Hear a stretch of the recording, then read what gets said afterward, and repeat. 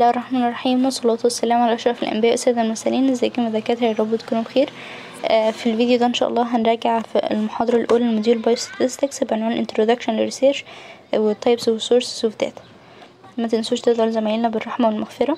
محتاجين نعرف إنه في المحاضرة دي هنتكلم عن آه، definition بتاع research ونتكلم عن إيه هي الخطوات المفروض نمشي عليها وكمان أنواع والمصادر بتاعة ال data. أول حاجة بالنسبة لل definition هو عبارة عن عملية. إيه عملية ال research دي؟ ان أنا بجمع معلومات وابدأ ان أنا احللها واعمل بينها interpretation أو تداخل عشان اوصل في الآخر لإجابة لسؤالي. يبقى هي عبارة عن systematic systematic ده معناه ان أنا بمشي يعني بشكل systematic step by step. بمشي شوية خطوات أبدأ ان أنا ألاحظ أو أجمع معلومات أقسمها أعمل لها تصنيفات classification اللي هي نفس كلمة analyzing. أبدأ أعمل تداخل لل data دي لحتى ما أوصل لإجابة لسؤالي. يبقى ده كده بالنسبة للديفينيشن بعد كده نعرف إن هي عبارة عن رحلة البحث دي عبارة عن رحلة بتبقى عبارة عن two steps أو two decisions يعني المفروض إن أنا أعرفهم. أول حاجة أعرف إيه هي الأسئلة اللي جت على بالي المفروض إن أنا أعرف إجابتها وإزاي أنا هوصل للإجابات دي. جميل؟ عن طريق شوية steps بقى هنعرفهم أول حاجة محتاجة أعرف العلاقة هل في علاقة ما بين contraceptive pills وال إن هو يحصل breast cancer هبدأ إن أنا ا search الموضوع ده على جوجل أشوف حد عمل البحث ده قبل كده ولا لأ. هبدأ إن أنا أعمل أحدد أهدافي وأبدأ إن أنا أقول فرضيات يعني أتوقع كده نتائج ممكن تبقى إيه. ابدأ إن أنا أجيب sample يعني من الفئة المستهدفة للدراسة عليهم آه، أجمع منهم ال data أبدأ إن أنا أحللها لحتى ما أوصل في الآخر الإجابة لسؤالي. يبقى research steps عبارة عن إن أنا عندي problem عندي مشكلة. بعد كده ببدأ أشوف extensive review أبدأ أشوف الناس عملت عليها أبحاث عاملة إزاي.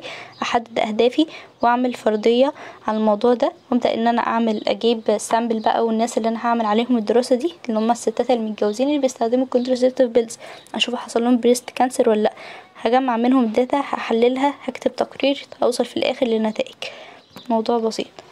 كمان مرة قلنا اللي هو بيبقى عندي إن أنا بعمل خطة قدامي عشان أعرف إجابة للسؤال فببدأ إن أنا أشوف ال review أشوف الناس اللي كتبت ابحاث آه، هجمع ال data أحللها أكتب document في الآخر اللي هو ال report آه، بالنتائج اللي أنا وصلت لها. ده نفس الكلام هنا متكرر زيادة بس كلمة اللي أنا آه بحدد ال type of research ممكن يبقى observational أو experimental وهتفهموها في المحاضرات الباقية. بجمع ال data وبحللها بعمل لها تداخل و generalization ابدا في الآخر أكتب ال report وأوصل في الآخر لل result إجابة السؤال اللي كان عندي في الأول. ده كده بالنسبة لل steps بالنسبة لل sources of data تبقى عندي حاجتين. سواء أنا جمعت أنا أول حد أجمع ال- المعلومات دي فيبقى كده first hand ودي تبقى كده أول مرة تتجمع يبقى الموضوع ده more reliable موثوق بيه لأن لسه original ولسه متجمع يعني من جديد. أو الموضوع يبقى second hand اللي هو أنا رحت مثلا للسجل المدني وبدأت أشوف المستندات أو ال reports ال records الموجودة عندها أو ال records الموجودة في المستشفى أو التعداد السكاني اللي هو census data والحاجات دي كلها. فيبقى كده already ال information موجودة وأنا رايحة آخد منها المعلومات. فعشان كده الموضوع ده not original ده طبعا بيبقى مش على طول reliable جميل؟ ده كده بالنسبة لل sources of data لما نيجي بقى نتكلم عن types of data في data بتبقى ثابتة اللي هي constant وبتبقى ثابت وفي variable data دي بتبقى بتبقى متغيرة من شخص للتاني. على حسب بقى. أنا سألت الراجل ده سؤال فرد عليا بكلمة أو رقم. لو رد عليا بكلمة يبقى كده بعتبرها qualitative data. لو رد عليا بكلمة تبقى qualitative رد عليا برقم تبقى numerical أو quantitative. على حسب بقى لو رد عليا بكلمة ينفع تتحط في مستويات أو تتحط في ليفل زي مثلا قال لي أنا تعليمي مستوى تعليمي إن أنا خريج كلية. يبقى الموضوع ده كده ordinal. ينفع يتحط في مستويات زي مستويات التعليم المستوى الاقتصادي درجة الاستجابة للدواء درجة خطورة المرض وهكذا. أو لأ ما ينفعش. nominal.